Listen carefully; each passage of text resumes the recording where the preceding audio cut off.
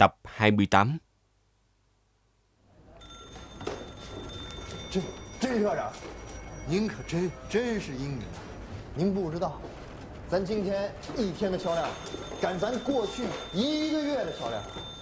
Trưởng phòng chân.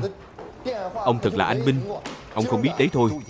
Lượng tiêu thụ hôm nay của chúng ta Đuổi kịp được lượng tiêu thụ một tháng của chúng ta rồi. Điện thoại đặt báo không ngừng nghỉ. Hôm nay đã in thêm 5 lô nữa rồi. Tiêu thụ tiêu thụ. Cậu không biết tôi suýt nữa thì mất mạng sao? Không phải ông chủ chân. Lượng tiêu thụ báo của chúng ta như này Sẽ rất nhanh có tiếng tăm. Tiền lương nhân viên sẽ không bị giảm nữa đúng không? Vậy đầu của tôi cũng không còn. Tan làm đi. Về hết đi. Về đi. Trưởng phòng chân Việc này Việc này Đem hết tất cả những tờ báo chưa bị bán đi. Thu lại hết cho tôi Báo hôm nay giống như tiền vậy. Bài báo này còn đang đợi chúng ta in thêm. Chúng ta gửi cho bọn họ làm gì còn thừa chứ.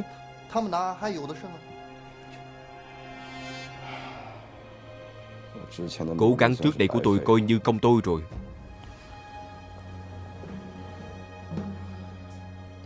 Không được.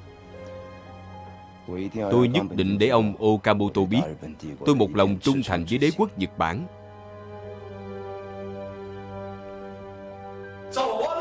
Về đi đứng đó làm gì?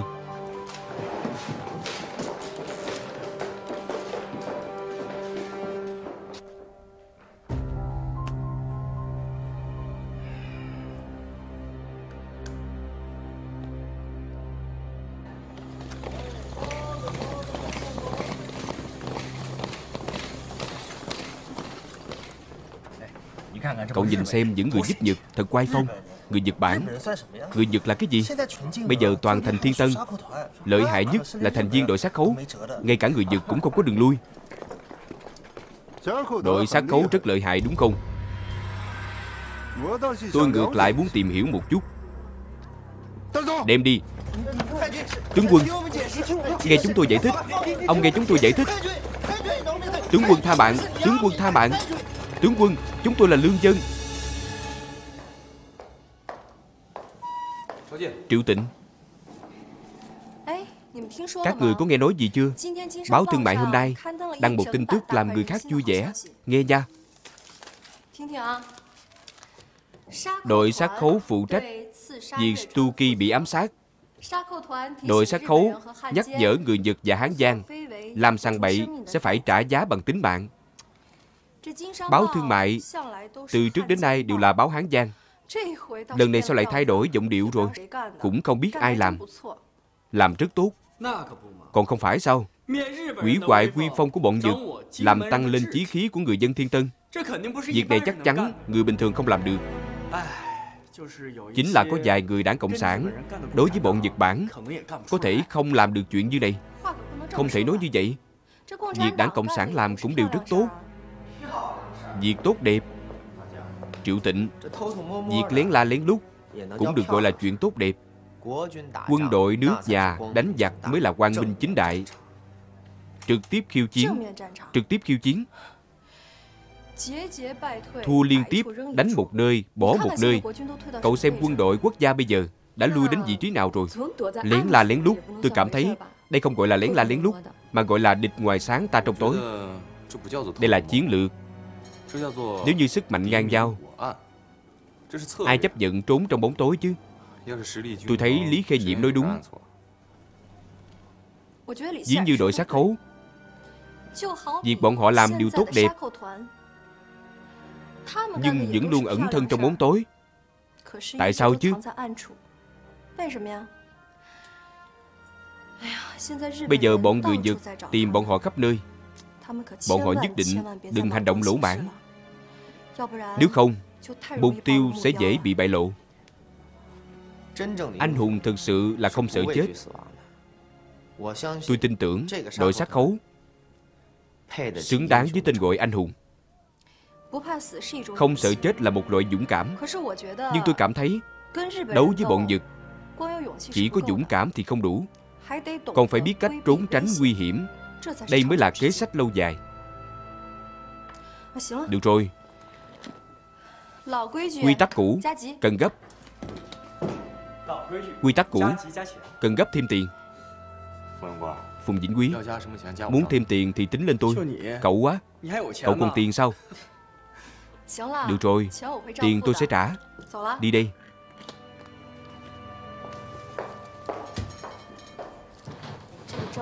Triệu Tịnh luôn nói giúp đảng Cộng sản.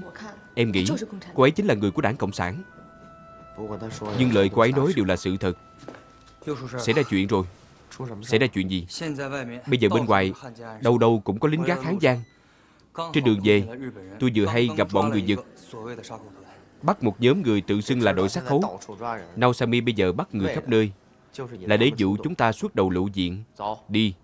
Hôm nay tôi nhất định phải ở trước mắt Naosami Giết thêm vài binh sĩ Nhật Được Lúc này chúng ta phải bình tĩnh。Tôi thấy tiểu mạng nói đúng。Cái đó Đâu có con cá nào tự chui vào đầu rõ。Hơn nữa Nếu các cậu đi thì các cậu cứ đi。Tôi và tiểu mạng không đi đâu。vốn dĩ cũng không muốn cậu đi。Nhưng cậu không đi Không có nghĩa là không phải làm gì。Nhiệm vụ của cậu lần này Liên quan đến sống chết của cha cậu。Các cậu lôi ông ấy vào làm gì？Tôi không có quan hệ gì với ông ấy Vậy có quan tâm đến mạng sống của cha cậu không?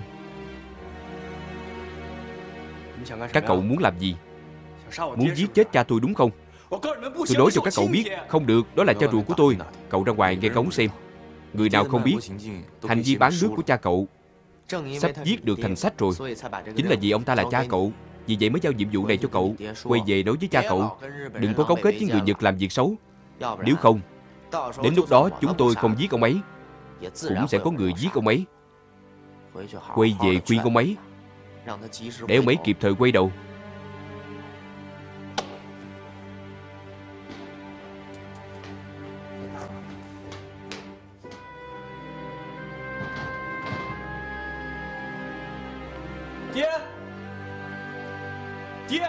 Cha.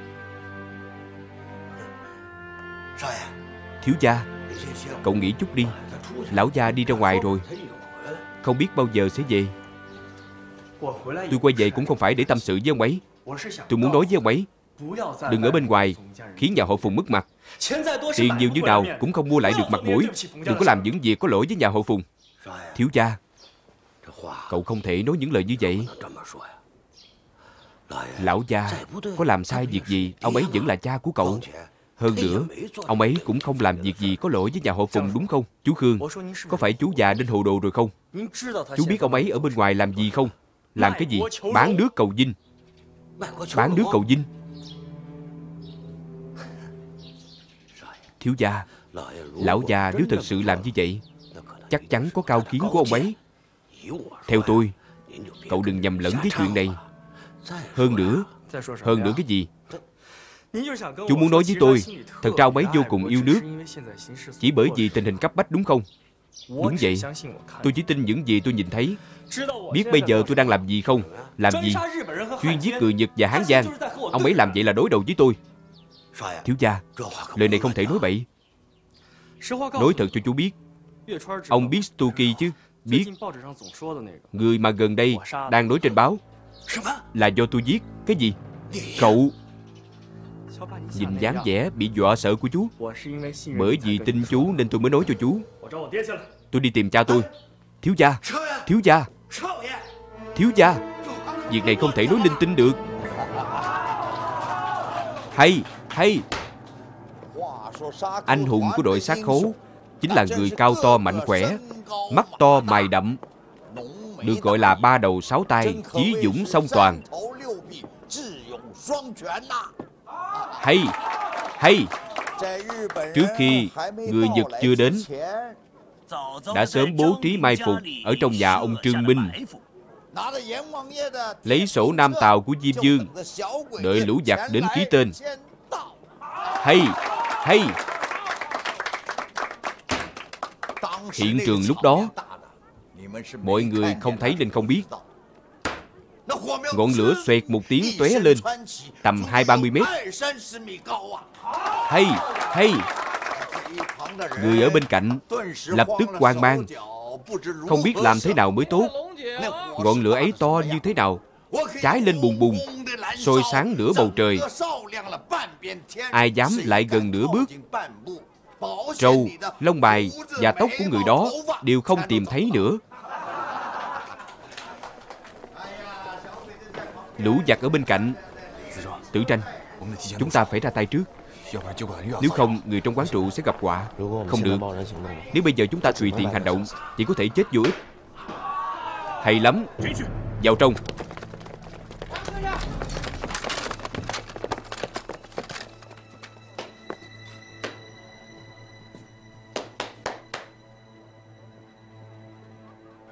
Rất đặc sắc, Mời tiếp tục. Không biết hoàng quân đến. Thức lễ rồi, thức lễ rồi. Mời ông ngồi. Tôi sẽ lập tức bảo ông ta kể cho ngài nghe Chuyện Kim Bình Bay. Im mồm.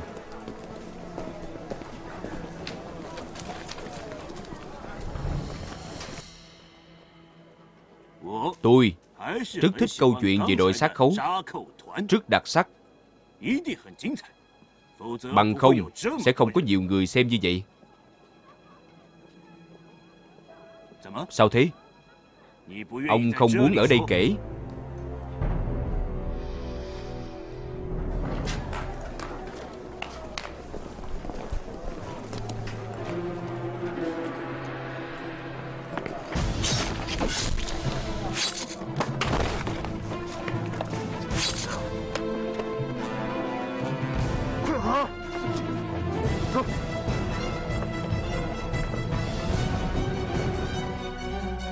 Đem đi.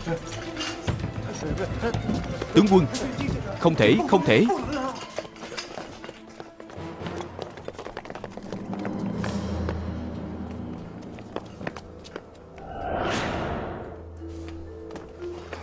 Đừng động.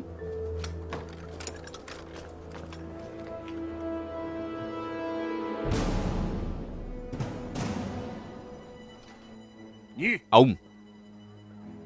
Cầm lên Nhanh lên.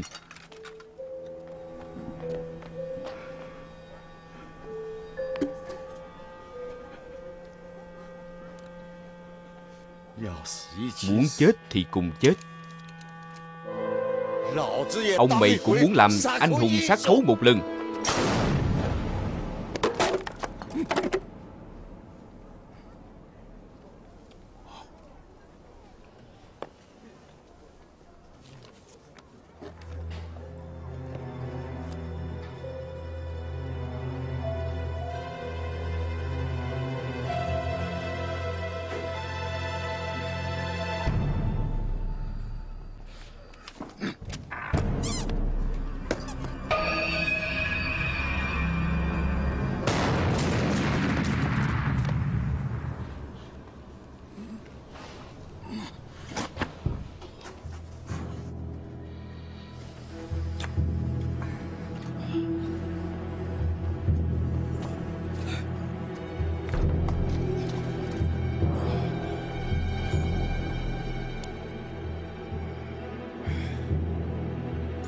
Khủng khiếp.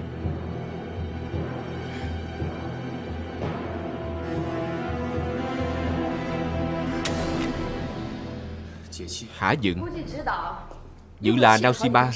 Lại tức đến nỗi không thể ăn ngủ mấy ngày rồi. Chỉ là tội nghiệp cho vị kể chuyện kia. Đúng đó.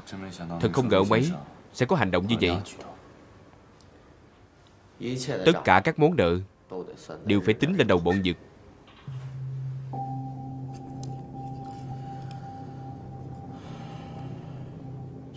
Stuki bị đổ, Cậu lại xảy ra chuyện. Thành Thiên Tân sao lại có nhiều thuốc nổ như vậy?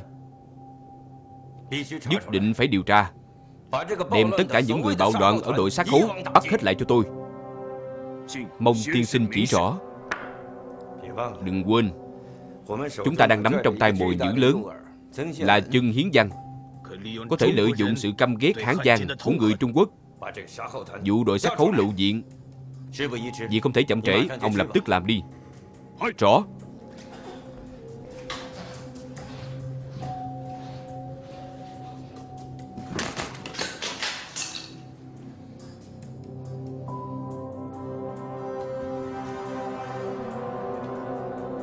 Được thuyết minh bởi Hoa Thành Phim Việt Nam.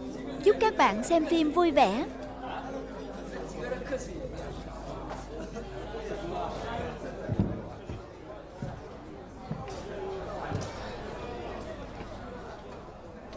Quan nghênh mọi người. Báo thương mại ra đời được 10 năm. Cảm ơn độc giả. Ở đây có rất nhiều quà. Mời mọi người lên lĩnh quà. Được, cảm ơn. Cảm ơn, cảm ơn. Chân hiến văn hôm nay đột nhiên lại thay đổi như thế này. Ai biết được? Vừa đăng bài yêu nước Vừa tặng quà cho chúng ta. Muốn làm gì đây? Tôi cũng không biết. Chúng ta xem đi Xem đi. Tránh ra, tránh ra. Mời tránh ra.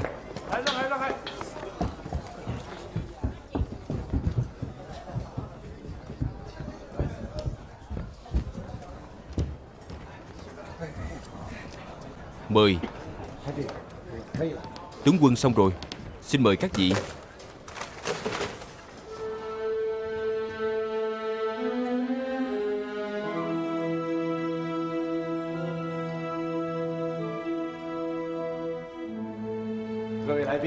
Quan nghênh mọi người. Hôm nay đến tham gia. Đại đội quy động vật tư của đế quốc Nhật Bản. Trung Quốc bây giờ thương tích đầy mình Tồn tại trên danh nghĩa. Mặt trận tiền tuyến đã mở rộng đến phía Nam. Thắng lợi của đế quốc Nhật Ở trong tập tay. Tương lai Chúng ta sẽ trở thành Thần dân tốt của thiên hoàng đế quốc Nhật. Để thời khắc này sớm đến Binh sĩ dũng mạnh thiện chiến của đế quốc Nhật Bản Đang chiến đấu anh dũng và đẫm máu Vì cái gì? Vì muốn đem đến cho mọi người những ngày tháng tốt đẹp hơn. Vì muốn sớm được hưởng thụ ân huệ của thiên hoàng. Các người nói xem Chúng ta có nên bày tỏ tấm lòng Với những binh sĩ ở tiền tuyến không? Được nếu như mọi người ngầm đồng ý Vậy tôi kêu gọi người dân của toàn thành Thiên Tân Hôm nay sẽ lấy hành động thực tế Để cổ vũ binh sĩ ở tiền tuyến Quyên góp nửa lương thực trong nhà. Bất kỳ trang sức đáng giá Đem đến nộp cho kho vật tư. Hay, nói rất hay.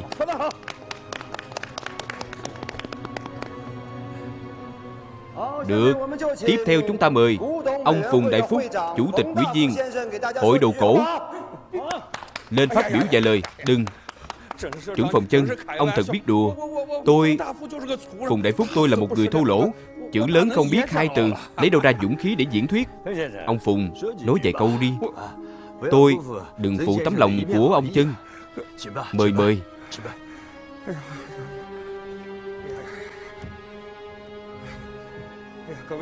Các vị Tôi Lời muốn nói Ông chân đã nói thay tôi rồi. Tôi chỉ muốn nói một câu. Hãng vàng Chúng ta phải cùng nhau nỗ lực Phục vụ hết mình cho đế quốc. Cảm ơn. Hay, hay lắm. Ông Phùng Đại Quý thật là lời gọn ý đủ. Một câu bằng mười câu.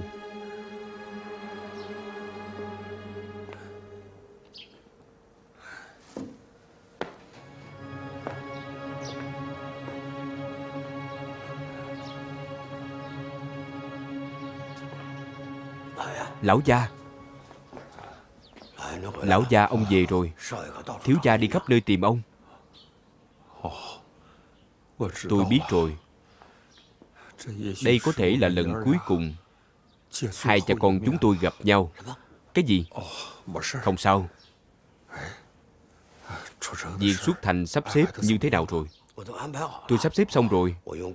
Tôi cũng dùng giá cao để mua một đường sông chảy Chắc chắn không có vấn đề gì. Nếu hai ngày này có thuyền, Chúng ta có thể ra ngoài. Tấm lưới đã làm xong chưa? Chắc ba ngày nữa là xong. Chỉ là sơn chưa khô. Hôm nay Okamoto đã đội đồ rồi. Bảo chúng ta nhanh lên. Không dám để cho bọn người Nhật Nhìn thấy kẻ hở. Tôi biết rồi.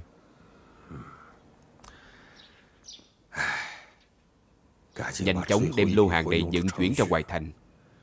Bớt đêm dài lắm mộng. Ông cũng dọn đồ đạc đi. Ông cũng không cần quay lại đây nữa đâu. Vậy còn ông? Không cần quan tâm tôi, tôi không sao. Tôi sắp xếp ổn thỏa việc ở đây Cũng bỏ đi. Ông nhanh chóng sắp xếp việc ra khỏi thành. Nhất định phải cẩn thận đó. Tôi cứ nghĩ đến Okamoto Bụng và chân liền bị chuột rút. Thật đúng là khổ sở mà.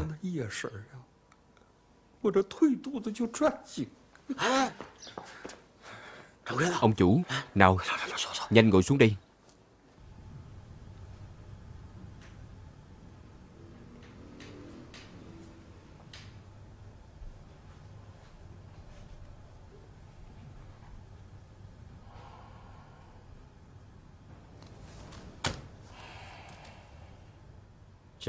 Trưởng phòng chân. Ông không cần căng thẳng như vậy. Những việc ông làm Mọi người đều biết. Cảm ơn ngài đã lượng thứ.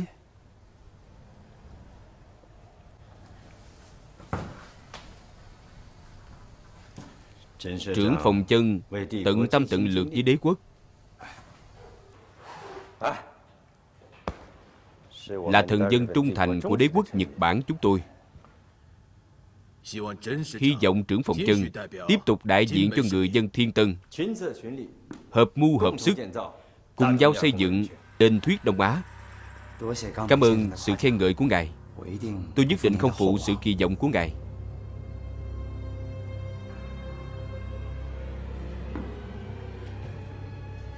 Lần này tôi gọi ông đến không có việc gì khác.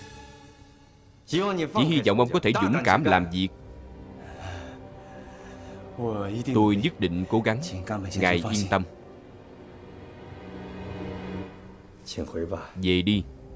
Dân, Tạm biệt. Tạm biệt.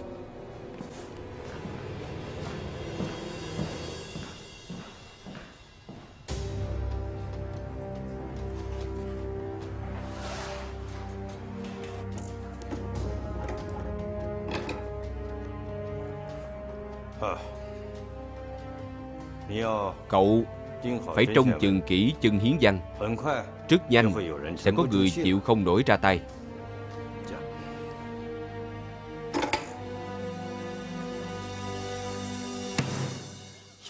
Tôi đã nói Lần trước các người quá lương thiện rồi Đáng ra đi giết chết chân hiến văn. Ông ta chính là hán văn cặn bã Chết không hối cải. Tôi cho ông ta một cơ hội. Ông ta vẫn tự mình tìm đường chết. Giết ông ta. Đúng Đêm nay hành động Anh xem chân hiến văn Giống như con chó điên Cắn loạn khắp nơi. Tôi thấy ông ta đang tìm cái chết. Bài báo hôm trước Người Nhật lại tha cho ông ta Không giết ông ta. Ô Cao Tô suy nghĩ rất nhiều. Ông ta muốn lợi dụng chân hiến văn nhiều hơn Chân hiến văn này Bây giờ ôm chân của người Nhật Bản Liều mạng làm việc cho Nhật。Còn muốn được người Nhật trọng dụng。Chỉ trong vòng mấy ngày Diễn thuyết khắp nơi Lôi kéo tư vật Tờ báo này Toàn bộ nội dung đều có vấn đề。Tôi thấy ngày hắn sắp chết đến nơi rồi。Đoạn này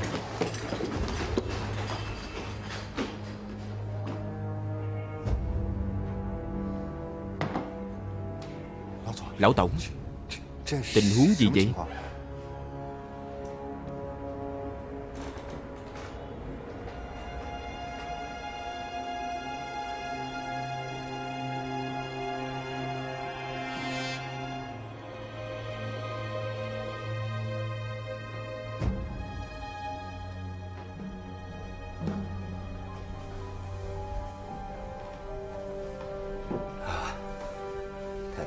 Bà xã. Đừng sợ, đừng sợ. Không sao đâu, không sao đâu. Không sao.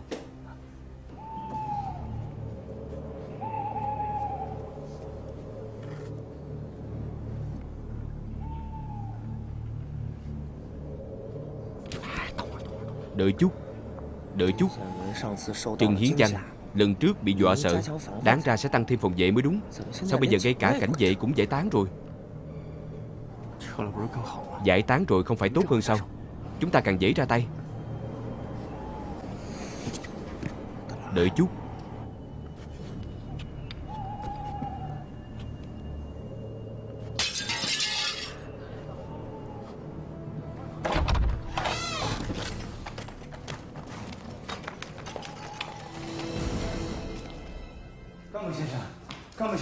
Ông Okamoto Ông Okamoto Ông chân Việc gì mà căng thẳng như vậy? Tiên sinh Okamoto Ngài nhất định phải bảo vệ tôi. Tôi một lòng vì đế quốc Là cánh tay đắc lực của ngài. Vì vậy Ngài nhất định phải bảo vệ tôi. Ông chân Đế quốc chúng tôi đối xử với bạn bè Vẫn luôn rất trân trọng. Chúng tôi đã phái người âm thầm bảo vệ cho ông rồi Dân dân. Ông phái người bảo vệ tôi không phải giả. Nhưng tôi sợ những người không sợ chết kia. Nhân cơ hội người bảo vệ tôi không chú ý. Xuống tay ở sau lưng tôi. Ông chân tưởng tượng của ông phong phú quá. Không thể nào. Bọn họ đều là tinh anh Trong tinh anh của đế quốc. Ưu tú giống như ông vậy. Tiên sinh Okamoto Để ngài chê cười rồi. Nhưng mà ngài xem Tôi cả ngày đơm đớp lo sợ. Sao có thể phục vụ tận tâm cho đế quốc Vì vậy ông phái thêm vài người Đi theo bảo vệ tôi. Ông Chân Việc này không phải là không thể. Bảo vệ ông là việc tôi nên làm. Ông Chân Nhưng tôi sợ bị phản tác dụng. Ông nghĩ xem Ông là bạn tốt của đế quốc chúng tôi. Nếu như đế quốc chúng tôi Công khai bảo vệ ông Vậy ông sẽ trở thành Hán Giang Trong mắt người dân Thiên Tân sao Bọn họ hận Hán Giang còn hơn cả hoàng quân chúng tôi。Tiếp tục như vậy Ông có khả năng trở thành đối tượng ám sát lớn hơn。Tiếp tục như vậy Tiên sinh Okamoto Ngài nói xem bây giờ tôi phải làm như thế nào？Làm sao Ông yên tâm đi。Chúng tôi một bên sẽ âm thầm bảo vệ cho ông Một bên nhanh chóng giết hết bọn họ。Yên tâm Quay về đi Thật sự không sao chứ. Sức tưởng tượng của ông phong phú quá rồi đó. Vậy tôi về trước. Được rồi. Tạm biệt. Tạm biệt. Tạm biệt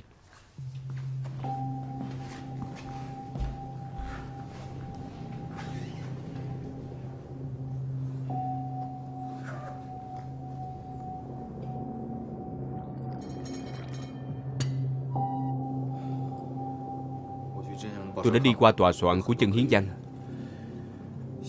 Có rất nhiều nhân viên đáng ghi Bây giờ nhà họ với tòa soạn đều là lính cát Không dễ giết như vậy. Tôi đã sớm nói rồi. Lần trước các cậu không giết ông ta Là quyết định sai lầm nhất. Cho dù nghiêm ngặt thế nào, Cũng sẽ có lỗ hở. Bây giờ theo dõi ông ta trước.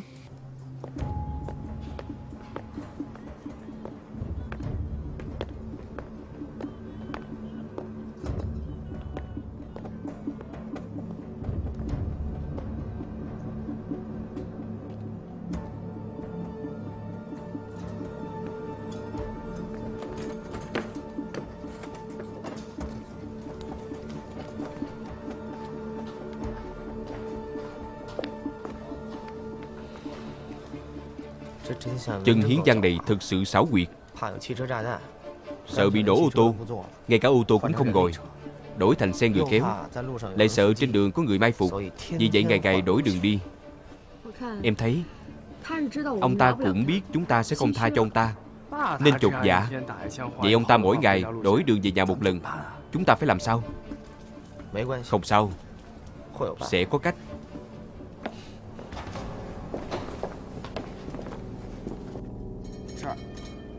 Ở đây, Chỗ này. Còn có ở đây. Đây đều là lộ trình đi của chân hiến văn. Mỗi đường đều không giống nhau. Nhưng mà, Nếu ông ta đi ra ngoài, Đều phải đi qua một con đường. Chính là đường văn Hối. Chính là ở đây. Nhìn thấy chưa? Chúng ta sẽ ra tay ở đường văn Hối. Cậu biết. Người Nhật cũng biết. Đúng. Người Nhật cũng biết. Vì vậy chúng ta cần phải ở đường Giang Hối đánh nhau với người Nhật trước. Đến lúc chân hiến văn đi vào đường Giang Hối Con đường hàng hạ bên cạnh Chính là vị trí xe kéo mà chân hiến văn ngồi. Chính là con đường Giang Hối. Con đường này là con đường bắt buộc Chân hiến văn phải đi từ tòa soạn về nhà. Cũng là nơi mà người Nhật bố trí quân đội hùng hậu, trực tiếp do Naoshima dẫn đầu đội. Vì vậy chúng ta nhất định không được ra tay ở đường Giang Hối, quá nguy hiểm rồi. Mà giao lộ đầu tiên phía trước chính là đường Hán Hạ. Con đường này ngõ rất nhỏ, chỉ có thể dựa một chiếc xe kéo. Vì vậy, chỉ cần bước chân hiến văn đi vào con đường này, chúng ta sẽ có cơ hội để ra tay.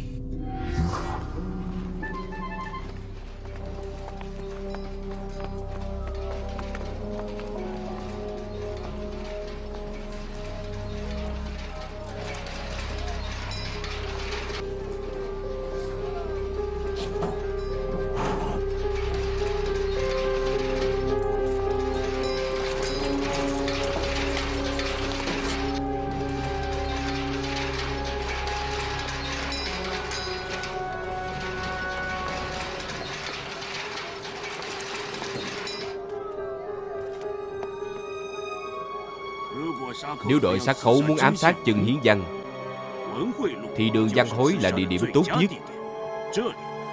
Đây là đường ông ta bắt buộc phải đi qua để về nhà.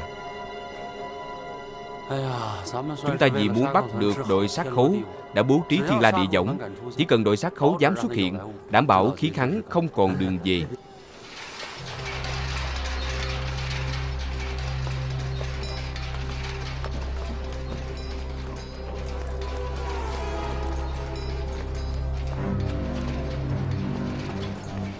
Nhanh lên, rẽ phải.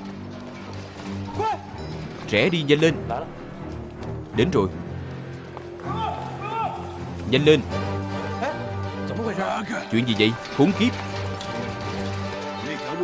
Đường kia không phải hướng về nhà ông ta. Cái thứ ngu gốc đó đi vào đó làm gì?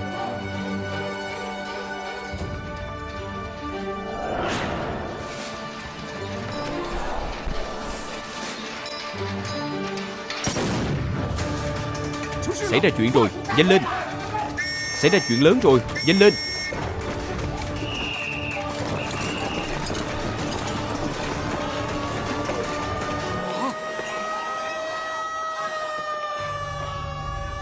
Lục soát. Lập tức lục soát cho ta.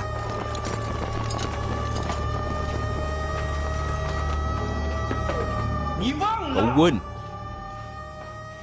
Lúc xuất phát đã hứa với tôi như thế nào sao Xin lỗi Là sơ suất của trò Trò không nghĩ đến Cái tên ngu đó Lại đột nhiên đi vào con ngõ nhỏ đó Thất bại là thất bại Không có lý do Dừng Báo cáo Vào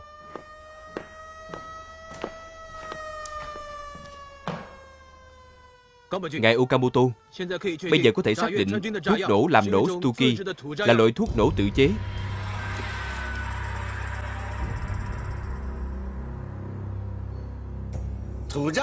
Thuốc nổ đất Thuốc nổ đất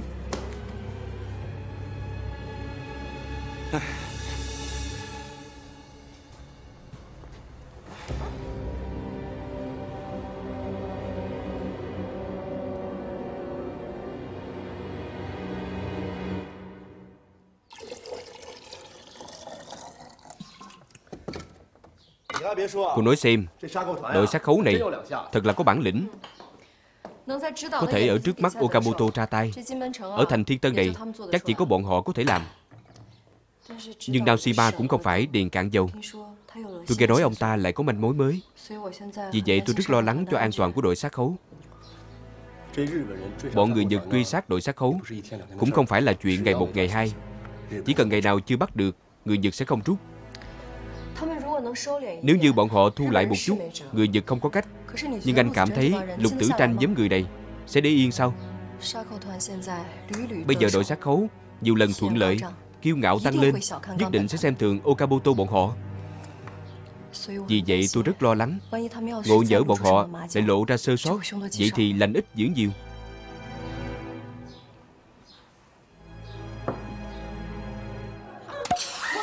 Rốt Nhanh rót đi.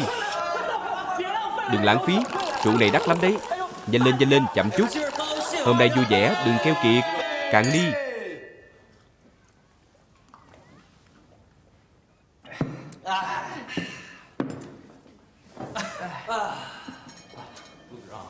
Lục tử tranh. Khi nào ra tay với Naoshima và Okamoto? Đúng đó.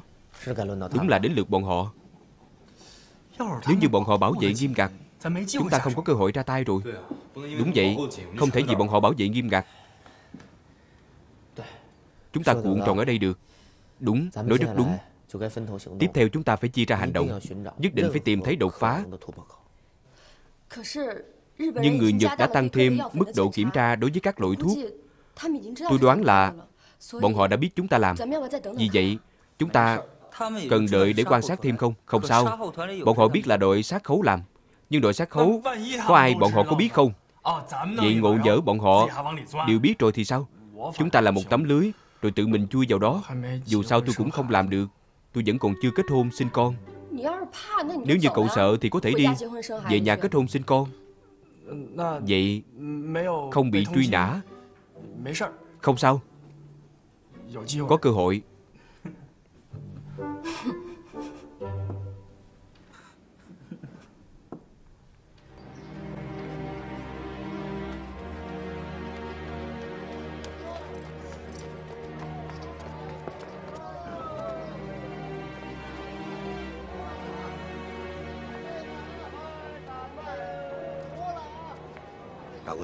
Ông chủ. Hay là chúng ta vào trong xem.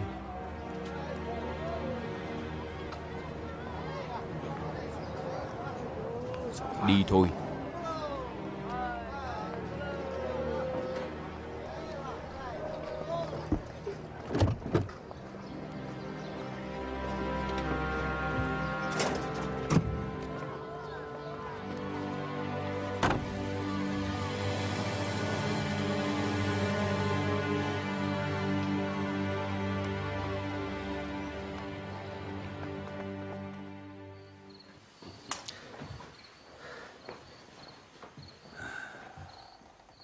Lão gia, Lần cuối cùng tôi cầu xin ông. Chúng ta đi thôi. Lão gia, Thuyền đã đợi ở bên ngoài rồi. Bây giờ chúng ta không đi. Sau này sẽ không còn cơ hội đâu.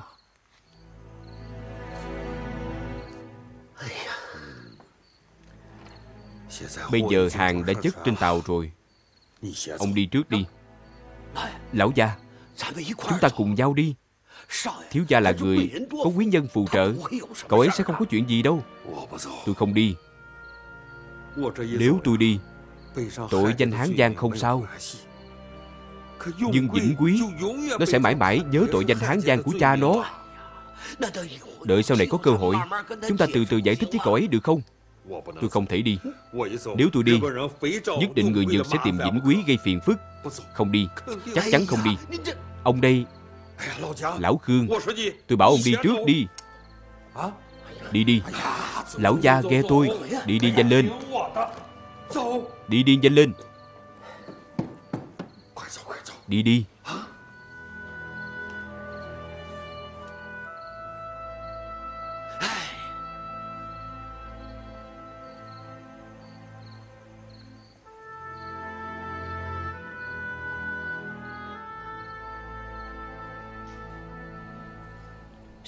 Cái gì? Phùng Đại Phú vận chuyển đồ cổ ra khỏi thành Thiên Tân. Đúng. Ông ta muốn làm cái gì? Lẽ nào muốn độc chiếm đồ cổ sao? Vậy người Nhật còn tha cho ông ta không? Kỳ lạ nhất là Phùng Đại Phú Sau khi vận chuyển đồ cổ khỏi Thiên Tân Không những không chạy Còn chuẩn bị làm đồ cổ giả để lừa người Nhật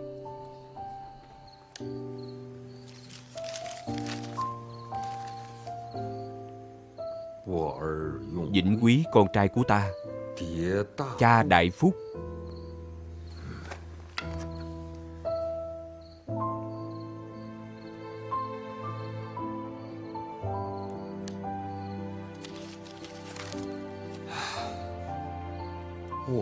Vĩnh quý con trai của ta.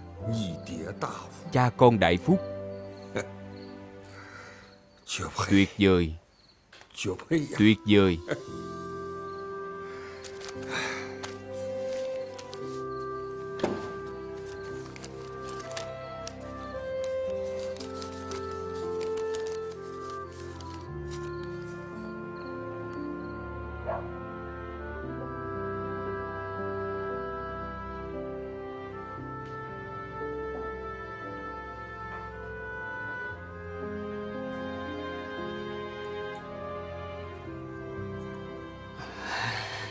Làm gì thế? Tiểu mạng tôi muốn hỏi cô một điều. Hỏi đi. Cái đó Tôi gần đây có tiến bộ không? Tạm được. Tạm được. Sao lại tạm được chứ? Bây giờ tôi có thể phân biệt rõ ràng. Cái gì là chính nghĩa Cái gì là gian ác? Người bình thường đều biết. Cậu chỉ là đuổi kịp bọn tôi mà thôi. Bây giờ tôi cũng đã cùng cha của mình Dạch rõ ranh giới